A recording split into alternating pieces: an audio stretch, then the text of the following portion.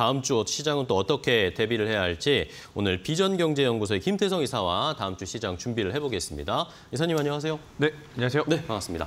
자, 시장이 일단은 뭐 다 FOMC의 회의나 이런 것들을 소화를 그렇죠. 했습니다. 네. 어느 정도 이제 시간이 흘렀고 소화된 것을 우리가 보고 있는데 자, 오늘 장 막판에 외국인 수급이 또 갑자기 좀 많이 들어왔어요. 네. 이걸 어떻게 보고 봐야 될까요? 긍정적으로 봐도 괜찮을까요? 사실 이제 이번 한 주는 우리나라 시장의 이 내, 대내외 이슈보다도 네. 글로벌 시장의 이제 외부적 요인들이 굉장히 많았었던 한 주였거든요.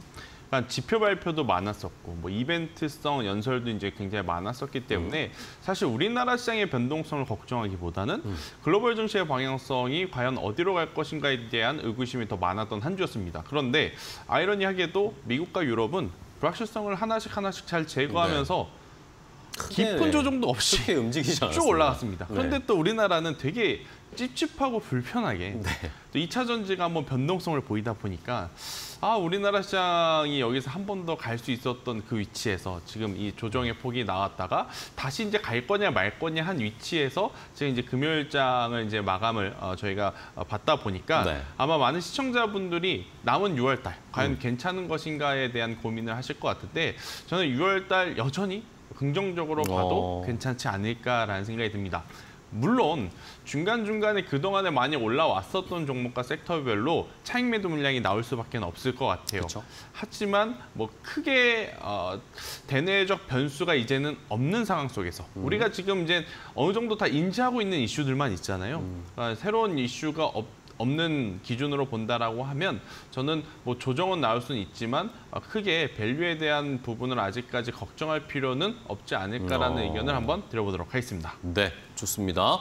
자, 시장은 일단은 뭐 여러 가지 소화해냈고 6월 이제 특별한 이벤트들은 뭐 이번 주에 잔뜩 몰려 있어서 좀 피곤하긴 했지만 어쨌든 또 한 번에 털어냈다는 또 그렇죠. 홀가분한 마음 같은 건 좀 있을 것 같습니다. 그럼 이제 결국에는 7월 실적 발표 때까지는 이런 흐름이 좀 이어질 수 있지 네. 않을까라는 기대도 해보겠는데 그럼 관련해서 섹터나 업종을 한번 잘 살펴봐야 될 것 같아요. 실적 그쵸. 괜찮을 것들 이런 것들을 좀 선별해 볼까요? 일단은 저는 반도체 IT와 2차 전지 그리고 외국인의 수급에 대한 이야기를 좀 하려고 했었는데 네. 외국인의 수급은 크게 걱정할 필요가 없을 것 같습니다. 네. 지금 장 막판에 또 엄청나게 또 많이 매수했어요. 네, 들어왔기 때문에 뭐 이러한 물량들이 다음 주 월요일 날 일부 이제 차익 매도 물량으로 변해서 빠져나갈 수는 있다 하겠습니다만 그래도 이제 외국인의 콜을 받고 있다라는 부분은 긍정적으로 봐도 괜찮다라고 어. 좀 말씀드릴 수 있을 것 같고 제가 또 반도체 IT를 말하려고 했던 이유는 사실 오전에 SK하이닉스의 시작이 그다지 좋지는 않았었어요. 그렇죠. 그죠? 어, 이렇게 또 SK하이닉스가 오늘 조정으로 마무리가 되면 또 반도체 IT가 장기간 음. 또 쉬어갈 수 있지 않겠는가라는 그러한 불안 네. 심리가 나올 수도 있었던 어, 모습을 좀 잠시 연출을 했었는데 결국 답은 엔비디아 혹은 마이크로소프트였던 네. 것 같습니다. 아무래도 이제 AI라든지 챗 GPT 같은 경우에는 단순 기대감이라기보다는 굉장히 편한 접근성 그리고 사용성을 무기로 엄청나게 지금 빠르게 성장을 하고 있다라는 부분에서 본다라고 하면 뭐 여기서 SK하이닉스가 폭발적으로 상승을 하면 더 좋죠. 음. 하지만 못 하더라도 내려올 때 내려오더라도 아, 표현이 좀 그런가요? 조정을 받을 때 조정을 받더라도 조금은 우아하게 네. 조금은 천천히 조정을 받아준다라고 하면 저는 여전히 반도체 소부장 관련 기업들은 체크해 볼 만하다라는 의견 한번 드려보도록 하겠고요. 이번 주 수요일 날 2차 전지가 흔들렸을 때 네네. 어떠한 종목이 강했는지를 우리가 꼭 생각을 해볼 필요가 어, 예. 있습니다.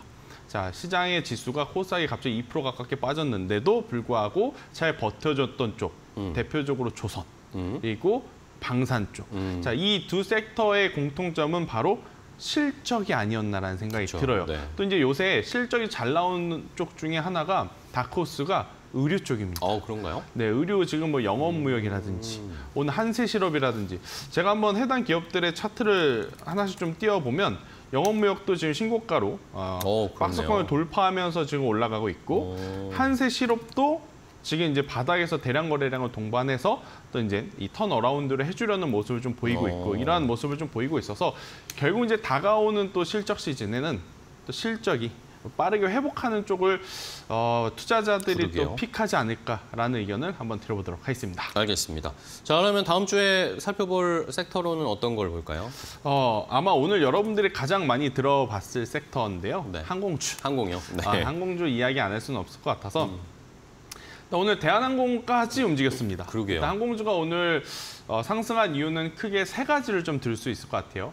첫 번째는 이 제트유, 그러니까 항공유가 생각보다 많이 싸졌어요. 네, 그러니까 내려왔어요. 1, 분기에 예상하기로는 배럴당 약 100, 아, 배럴당 이제 103달러를 이제 생각을 했었는데 보니까 지금 배럴당 93달러 수준. 어. 그러니까 예상보다 10% 정도가 지금 내려온 거예요. 그러면 그만큼 항공사, 항공사가 가져가는 마진율은 높아지겠죠. 높아지겠죠. 네. 이제 두 번째로는 코로나 때 우리나라 이제 다수의 항공사들의 공통점은 비행기를 자체적으로 만드는 것이 아닙니다. 그렇죠. 빌리잖아요. 빌려오죠. 근데 코로나 때 장사가 안 되니까 비행기 몇 대를 반납을 했겠죠. 음. 그런데 코로나가 다시 이제 완화가 되고 엔데믹 시대가 되니까 폭발적으로 또 여객기에 대한 수요가 늘어나고 있다 그렇죠. 보니 또 다시 이제 신청 주문을 하려니 자동차처럼 지금 당장? 주문한다고 어. 바로 오지 못하는 그쵸, 상황. 그쵸. 자 그러면 적은 항공편으로 굉장히 많은 또 관광객을 실어 날라야 되다 보니 음흠. 당연히 그만큼 또 항공사들은 이 큰 금액의 마진율 그러니까 음. 티켓 가격이 올라가게 되는 거죠. 그렇죠, 그렇죠. 그래서 이제 그에 따른 또 수익을 볼 수 있다라고 좀 보시면 될 것 같고요.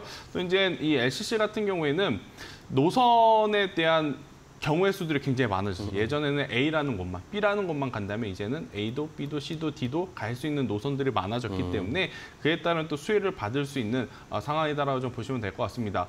아마 저 빼고 다들 비행기 한 번씩은 좀 타시는 것 같아요. 요새 주변을 네. 보면 그래서 항공주들은 이 실적을 기반해서 만약 다음 주 초에 최- 오늘까지 이제 좀 가파르게 올라온 것 때문에 잠시 쉬어간다면 충분히 한번 음. 어. 공략을 해봐도 괜찮다라는 의견을 한번 들어보도록 하겠습니다. 알겠습니다. 자, 항공주들의 개선 환경이 어쨌든 환경이나 조건이 좋아지고 있다라는 것들은 여러분들도 잘 참고를 해주셔야 되겠고, 자, 그럼 이제 마지막으로 다음 주 월요일에 시초가에 공략해 볼 만한 종목도 하나 체크해 볼까요? 네, 일단 뭐 이 사막 콘덴서라고 하는 삼화 기업을 콘덴서. 오늘 좀 말씀드리고 싶습니다. MLCC라고 아실 거예요. 그쵸, 그쵸. 너무 많이 마- 어, 이야기를 들으셔서 뭐 MLCC의 대장주라고 하면 결국은 삼성전기입니다. 그쵸. 그런데 삼성전기가 참 최근에 trading 하기에는 정말 좀 네, 너무 안 좋아요. 힘들어요. 네. 개인 투자자분들이 하기에. 그래서 변동성을 생각을 해본다면 이 MLCC 관련주 안에서는 저는 삼화 콘덴서가 가장 좋지 않을까라는 생각이 드는데 장점이 정확하게 두 가지가 있습니다. 일단 첫 번째,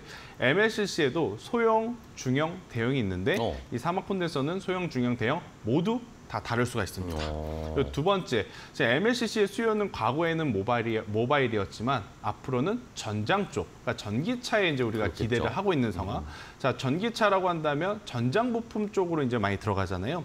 사막 콘덴서의 가장 큰 고객사가 LG 전자입니다. 음, 자, LG 전자가 전장 쪽으로 지금 올해 계속해서 이제 드라이브를 그쵸. 걸고 있는 상황이기 때문에 뭐 LG전자의 전장 사업의 실적이 늘어나면 늘어날수록 이 사막 콘덴서의 실적 또한 같이 성장할 수 있다라고 좀 보시면 될 것 같아서요. 어, 지금 사막 콘덴서 같은 경우에는 최근에 이 추세가 이탈이 될 수 있는 4만 2천 원이라는 가격대만 이탈되지 않는다라는 선에서 유지가 되었을 경우에는 저는 충분히 이번 박스권 상단 5만 원대를 돌파해서 5만 5천 원까지의 상승세도 한번 어, 기대해 볼 수 있지 않을까라는 의견 한번 드려보면서 아마 많은 분들이 지금 안 오른 2차 전지 혹은 전기차 관련주를 찾느라 그렇죠.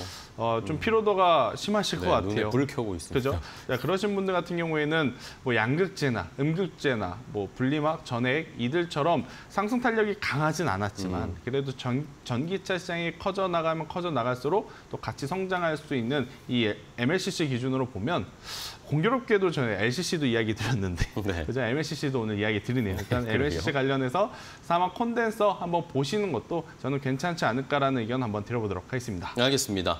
자, MLCC 뭐 한동안 관심에 좀 멀어져 가지고 이제 주가가 많이 내려와 있는 상황인데 이게 MLCC가 늘 말씀드리는 것처럼 뭐 산업의 쌀 뭐 이런 이야기 하면서 그동안 IT 쪽에 많이 들어갔는데 이제는 자동차 전장 쪽에도 분명히 들어갈 수밖에 없는 거- 상황이니까 그 중에서도 사막 콘덴서를 다음 주에 한번 저희가 지켜보고 공략해 보도록 하겠습니다. 자, 오늘 김태성 이사와 함께 이야기를 나눠봤습니다. 이번 주도 고생하셨고요. 잘 정략, 전략 알려주셔서 감사하고 다음 시간에 또 뵙도록 하겠습니다. 고생하셨습니다. 네, 고생하셨습니다.